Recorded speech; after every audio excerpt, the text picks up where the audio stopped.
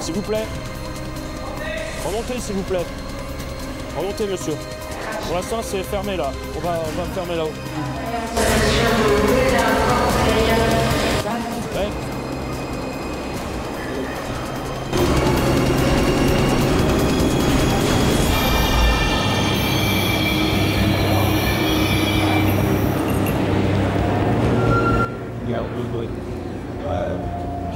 Un démineur examine le colis suspect à l'aide d'une caméra miniature.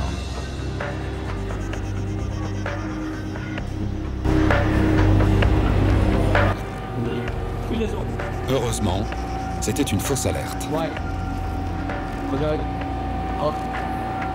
Le déminage de la préfecture euh, est intervenu et il semblerait que ce soit euh, juste un sac qui a été oublié euh, sur le quai. Donc le dispositif est levé.